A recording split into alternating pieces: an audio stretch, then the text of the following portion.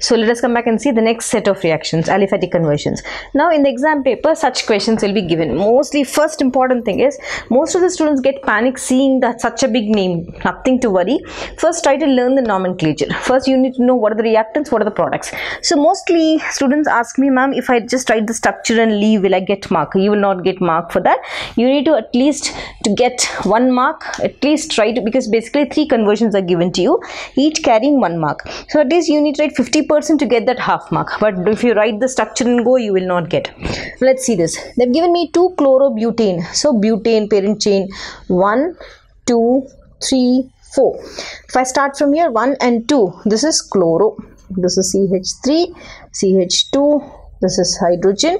This is ch3 2 chlorobutane. What need to convert i need to convert to 3 uh, 3 4 dimethyl hexane. Hexane is 6 carbon. So parent atom is 1 2 3 4 5 6 so if i have to start suppose if you're uh, starting from here 1 2 3 the uh, here also not a problem. 3 4 let us write 3 4 ch3 3 and the fourth carbon 3 methyl fill in all the hydrogen. Ch2 this hydrogen to this h to the ch3 for the ch2 this is what is the thing.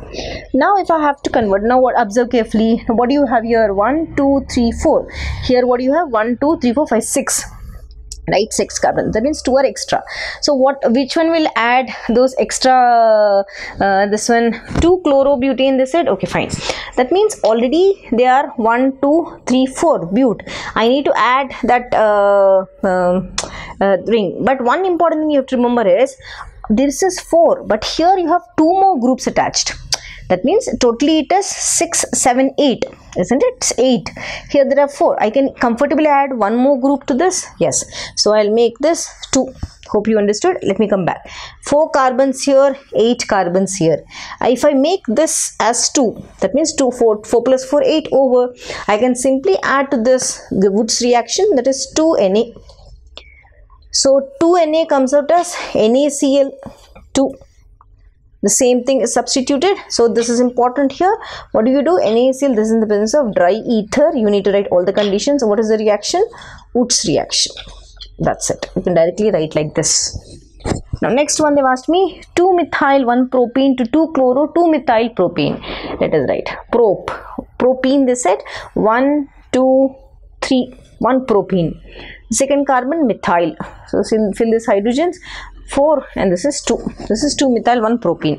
Now they said 2 chloro 2 methyl propene. Let us write 1 2 3 so 2 methyl 1 carbon 2 carbons in the second position 2 methyl. And they said propane nothing to do fill in the hydrogens. H now compare. Here there is one carbon done. For this there is one carbon one methyl one carbon one methyl.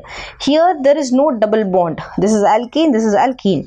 There is extra hydrogen added to this extra hydrogen added to this. Which will add that hydrogen to this? Simple. What what should i do?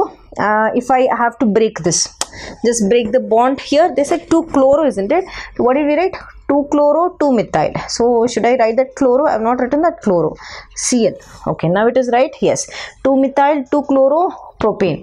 Now simple. I need to add one hydrogen to this here one cl to this. So add hcl this is H plus Cl minus. Negative addendum adds to the carb, uh, uh, carbon having uh, lesser number of hydrogens. So to the second carbon, this bond is broken. This hydrogen comes in, adds to this, and this chlorine comes in, adds to this. Over.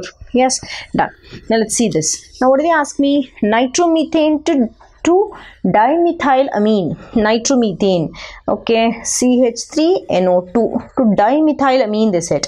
That means there are two carbon systems two methyl groups. In the in the center there is amine. Okay this is CH3 this is CH3 right? Now this is NH so when I have to see this carbon this is NO2 so NO2 always this nitro gets converted to amines amines on further uh, it will get converted to this. Let me see what can i do. First convert nitro group to amines. To convert nitro group to amines i need to use a reducing agent sn by hcl then i'm going to get nh2 done because oxygen is lost hydrogen is added. Nh2 this hydrogen is added and oxygen is lost over methylamine now what am i going to do? I can easily okay whenever you get this n immediate thing which you can uh, do is you can do carbylamine reaction in the presence of chloroform and HKOH then i'm going to get ch3 this is already there. Nc isocyanate because I need that nitrogen here isn't it? That's why I did carbylamine reaction. Now CH3 is here this carbon is here this nitrogen is here. Now what should I do? I need to add how many hydrogens? Four. One here and three here. So four hydrogens I can add. This reduction process which one can I use? I can use sodium in the presence of ethanol to convert that which I did already in organic reactions in three days. Then immediately that con gets converted one hydrogen adds here three hydrogens add here and this becomes dimethyl amine.